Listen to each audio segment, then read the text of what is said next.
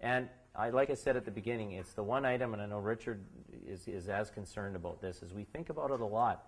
If we're saying the culture and, and, and the, the level of engagement we have with our employees, this concept of owner is what really driving the business, then it's putting a great deal of stress and emphasis on our leadership capabilities. And that's where we're spending a lot of time now focusing is frontline leaders, uh, mid-level managers, directors, vice presidents. What type of leadership skills do these folks have to help us lead and, lead and drive this culture that, you know, in two years is probably going to be at 10,000 employees, not the 79 we have now.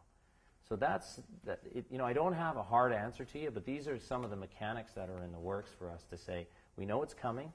Uh, we don't want to anticipate a breakdown with this. We want to get to the point where we address it. And staying union free.